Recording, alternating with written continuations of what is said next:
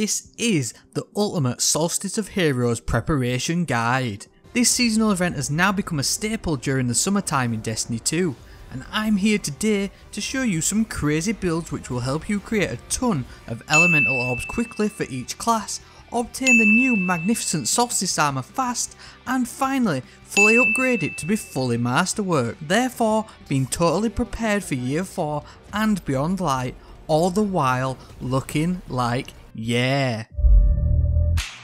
Solstice of Heroes begins at reset on August 11th. So first off, let's just have a quick overview how this event works and how to create elemental orbs. If you don't want an overview or refresh on how the system works for Solstice of Heroes and are here just for the spicy builds, then please use the timestamps down below. Now I know you'll be like, this event isn't even live yet, how can you create a guide for it? Well, for Solstice of Heroes, the system has roughly been the same for each iteration of the event, with only minor changes each year, but generally the orb production has stayed untouched, which it is likely to do this year too. The only major change could be what and how collecting a set number of orbs matching that day's elemental burn will affect you.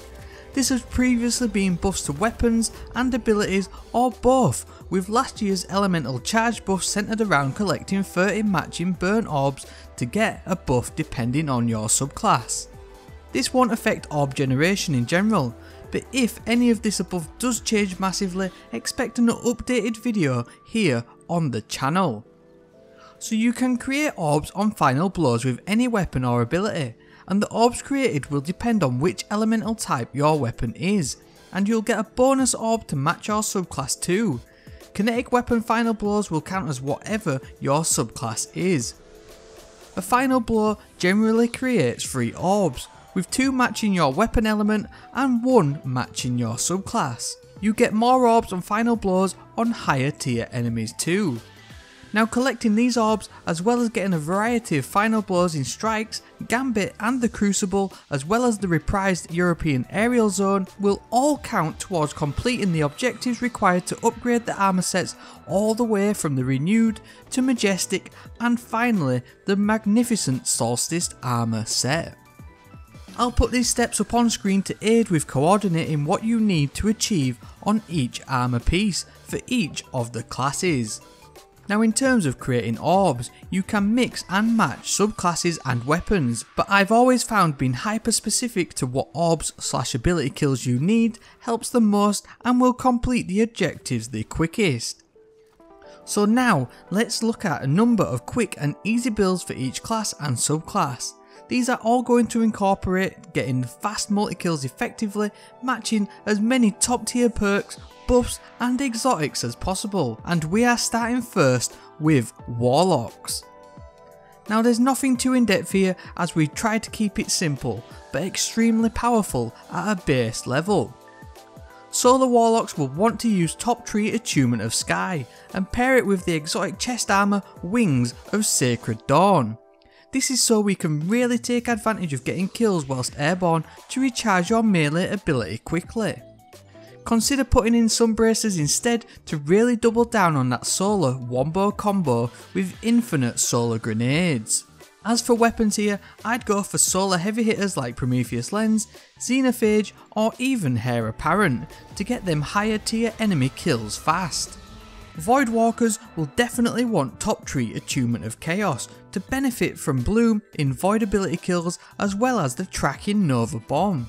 Nezarec Sin is going to be a great option, as well as any void weapons such as the Recluse and Hammerhead. Telesto could also be a great void option due to its high multi-kill potential, especially when paired with the heavy-handed and quick charge armour mods to supply near unlimited fusion rifle ammo. As for the Arc Boys, top tree Attunement of Conduction is the way.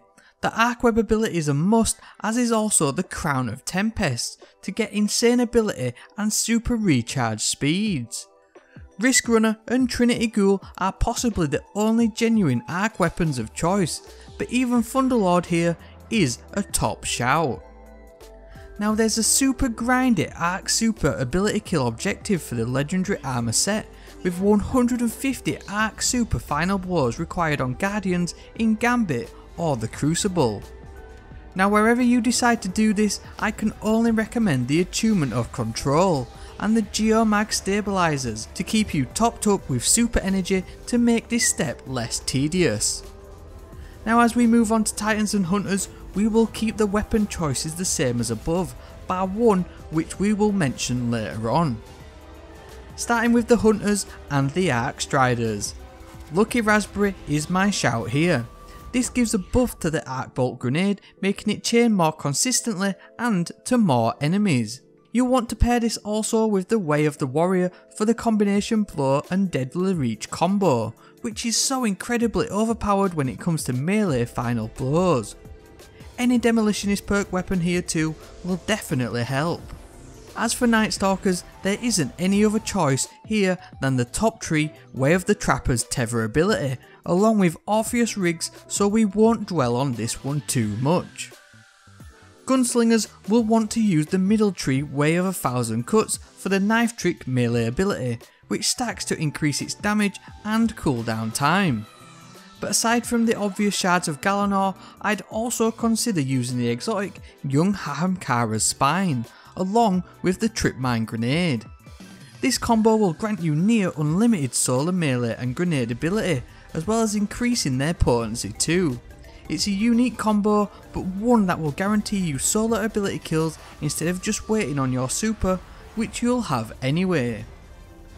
As for Titans, these are the least complex options, as I don't massively spend a load of time on perfecting my Titan craft, so sound off below with any better options. Striker Titans will want the insurmountable Skullfort, as always, I will pair it with the middle tree code of the missile and the ballistic slam. Dunemarchers are also a great call here, so take your pick, both will offer some form of unlimited melees.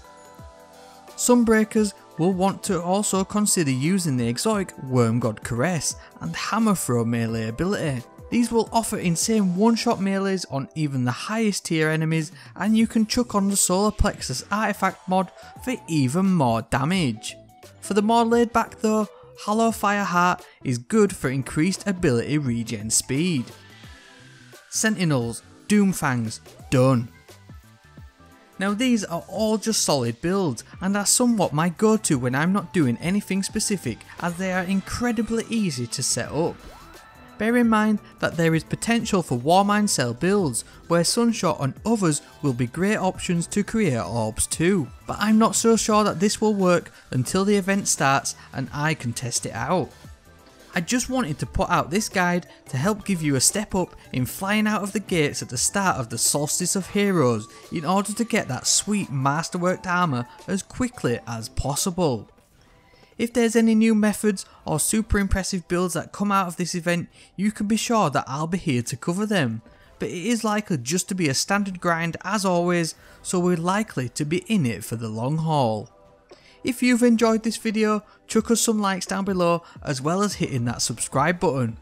With the season extended, we've got a ton of fun and unique builds coming to the channel, so keep it here for more Destiny 2.